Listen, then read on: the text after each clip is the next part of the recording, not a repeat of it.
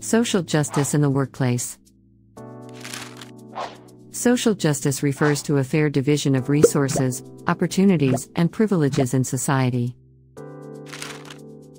In the workplace, gender inequality, racism, and LGBTQ discrimination are frequent subjects of social justice issues.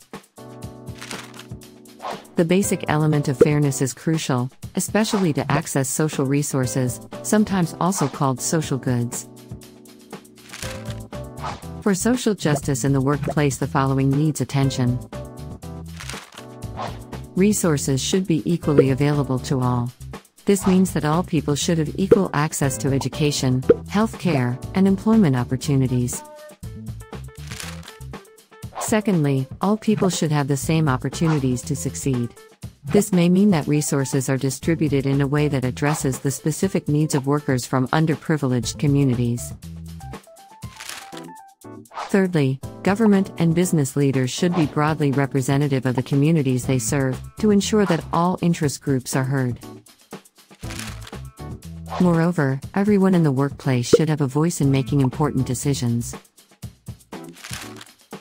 Finally, for social justice in the workplace, all workers should be able to exercise their basic human rights.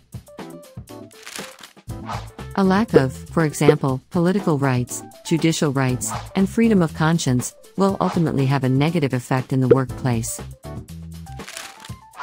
Social justice involves the fair division of social benefits and privileges of a society. This translates also to a greater division of resources and opportunities in the workplace for all people.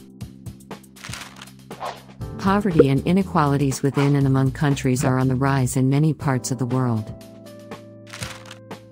This has an impact on the world of work and ultimately requires concerted action at global, regional, and national levels. This will ensure social justice for all.